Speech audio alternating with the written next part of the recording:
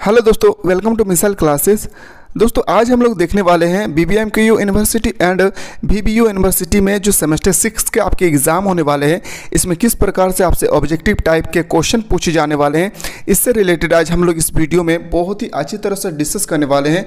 तो जो जो candidate dear student core paper thirteen और कोर पेपर फोर्टीन अभी तक नहीं देखे हैं पोलिटिकल साइंस ऑनर्स पेपर तो डियर स्टूडेंट डिस्क्रिप्शन पे लिंक दिया हुआ है। वहाँ से जाकर आप अच्छी तरह से देख सकते हैं। जिसमें से हम लोग हर एक पेपर पे 20 इंपॉर्टेंट क्वेश्चन को डिस्कस किए थे, वो आप डिस्क्रिप्शन पे लिंक दिया हुआ है। वहाँ से जाकर आप अच्छी तरह से देख सकते हैं। तो डियर स्टूडेंट ये, इसमें जो हम लोग डिस्कस करने वाले हैं, वो है political science honours paper DSC paper three इससे वीडियो में बहुत ही इंपॉर्टेंट होने वाला है। इस वीडियो को बिल्कुल आप लोग स्किप ना करें और वीडियो को प्लीज़ करके अंत तक देखेंगे, क्योंकि मोस्ट इंपॉर्टेंट क्वेश्चन मैं बताने वाला हूँ। तो चलिए बिना देर के हम लोग क्वेश्चन ओर मूव करते हैं। डियर स्टूडेंट वीडियो को बिल्कुल स्किप ना करें क्योंकि बहुत सारे ऐसे स्टूडेंट हैं जो वीडियो को स्किप करके देखते हैं और जब एग्ज़ाम देकर आते हैं तो कमेंट करते हैं कि सर आप जो बताएँ वो नहीं आया है। तो डियर स्टूडेंट बिल्कुल आप लोग वीडियो को स्किप ना करें। और याद रखिएगा, अगर आप चाह रहे हैं कि DSC पेपर फोर का भी सर क्वेश्चन पेपर चाहिए हमें, किस प्रकार से लॉन्ग टाइप में, किस प्रकार से ऑब्जेक्टिव टाइप में क्वेश्चन पूछे जाएँगे तो कमेंट बॉक्स में ज़रूर बताएँ। मैं उसके लिए भी वीडियो आप लोगों को बनाने प्रोवाइड करने के लिए तैयार हूँ। तो डियर स्टूडेंट जैसे कि आप देख पा रहे होंगे, पहला क्वेश्चन आपके सामने है। क्वेश्चन है कि विदेश नीति के मुख्य मौलिक उद्देश्य क्या है? जो विदेश नीति है, इसका मौलिक उद्देश्य क्या होना चाहिए? तो इसका जो राइट आंसर होगा, राष्ट्रीय सुरक्षा, आर्थिक विकास और अंतर्राष्ट्रीय सम्मान। यानी इसका ऑप्शन हो जाएगा ऑप्शन नंबर डी ये सभी बिल्कुल राइट आंसर हो जाएगा और मोस्ट इंपॉर्टेंट क्वेश्चन है। जो भी मैं क्वेश्चन बता रहा हूँ, ये सब रिपीटेड क्वेश्चन है। हर एक साल इसी तरह से रिपीट करके एग्ज़ाम में क्वेश्चन पूछे जाते हैं। तो डे स्टूडेंट आप लोग बिल्कुल वीडियो को स्किप ना करें और ज़्यादा से ज़्यादा अपने दोस्तों को शेयर करें। और वीडियो पर नया है तो वीडियो को पहले सब्सक्राइब करें लाइक करें और ज़्यादा से ज़्यादा अपने दोस्तों को शेयर करें। क्वेश्चन है सोवियत संघ का विघटन कब हुआ था? जो सोवियत संघ है, इसका विघटन कब किए गए थे? तो सोवियत संघ का जो विघटन हुआ था 26 दिसंबर उन्नीस याद रखिएगा, इसका जो राइट आंसर हो जाएगा 26 दिसंबर उन्नीस इसका बिल्कुल राइट आंसर हो जाएगा। अगला क्वेश्चन चलते हैं क्वेश्चन नंबर थ्री की ओर। क्वेश्चन नंबर थ्री है आपका कि अमेरिकी विदेश नीति का मुख्य विशेषता क्या है? जो अमेरिकी का विदेश नीति है, उसका मुख्य विशेषता क्या होनी चाहिए? तो जो इनका विशेषता है सामान्यवादी का अवरोध करना, संधियों की नीति का पालन करना और मानवाधिकार का समर्थन करना, इस प्रकार का जो राइट आंसर हो जाएगा ऑप्शन नंबर डी इनका राइट आंसर हो जाएगा।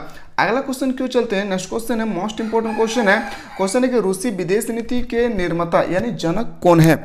जो रूसी विदेश नीति है, उनका जनक किसे माने जाते हैं?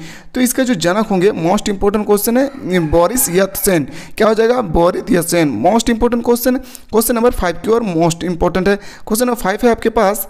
क्वेश्चन है कि प्रेस्टाइक क्या है? जो प्रेस्टाइक है, वो क्या है? तो इसका जो राइट आंसर होना चाहिए, पूर्ण अधिकार। क्या होना चाहिए? ऑप्शन नंबर बी इनका राइट आंसर हो जाएगा। देन अगला क्वेश्चन की ओर चलते हैं। नेक्स्ट क्वेश्चन है क्वेश्चन है आपके पास कि डिगल की अवधि क्या थी? जो डिगल की युद्ध है, उसकी अवधि क्या है? तो इसका अवधि याद रखिएगा, उन्नीस से उन्नीस सौ उनहत्तर, यानी ऑप्शन नंबर ए इनका राइट आंसर हो जाएगा। देन अगला क्वेश्चन की ओर चलते हैं। नेक्स्ट क्वेश्चन है आपके पास, फ्रांस, वर्तमान में फ्रांस के राष्ट्रपति कौन है? जो वर्तमान समय में प्रेजेंट टाइम पे अभी फ्रांस के राष्ट्रपति कौन है? तो याद रखिएगा एमुअल मॉर्कन क्या हो जाएगा? ऑप्शन नंबर ए इनका राइट आंसर हो जाएगा। देन अगला क्वेश्चन की ओर चलते हैं। पंचशील पर किस वर्ष हस्तक्षेप किए गए थे? तो उन्नीस चौवन। ऑप्शन नंबर सी इनका राइट आंसर हो जाएगा। देन डे स्टूडेंट आपसे एग्जामिनर ये भी क्वेश्चन पूछ सकते हैं कि जो पंचशील समझौता है वह किन दो देशों के बीच किया गया था? तो याद रखिएगा, भारत और चीन के बीच किए गए थे। अगला क्वेश्चन की ओर मूव करते हैं। अगला क्वेश्चन है आपके सामने। हन्नर टोटा पोस्ट, पोस्टर औपचारिक रूप से श्रीलंका द्वारा चीनी फार्मों को पट्टे पर कितने वर्ष के लिए सौंपा गया था? तो याद रखिएगा, निन्यानवे वर्ष के लिए। डी स्टूडेंट इसका जो राइट आंसर हो जाएगा, निन्यानवे वर्ष। मोस्ट इंपॉर्टेंट क्वेश्चन है ऑप्शन पे नहीं दिख रहे, इनमें से कोई नहीं होगा। याद रखिएगा, निन्यानवे वर्ष के लिए दिए गए थे।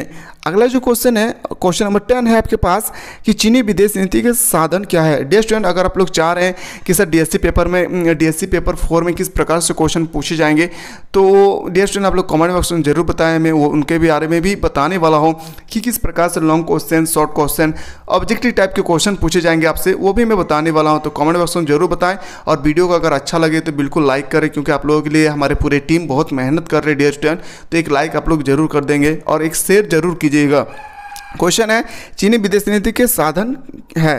तो चीनी विदेश नीति के जो साधन है, युद्ध और अहिंसा, कम्युनिस्ट प्रचार, दोहरी नीति। तो डी स्टूडेंट याद रखिएगा, याद इसका जो ऑप्शन हो जाएगा ऑप्शन नंबर डी याद रखिएगा ऑप्शन नंबर डी ये वाले हैं डीएससी पेपर फोर में किस प्रकार से ऑब्जेक्टिव टाइप के क्वेश्चन बनेंगे इससे रिलेटेड हम लोग नेक्स्ट वीडियो में डिस्कस करने वाले हैं।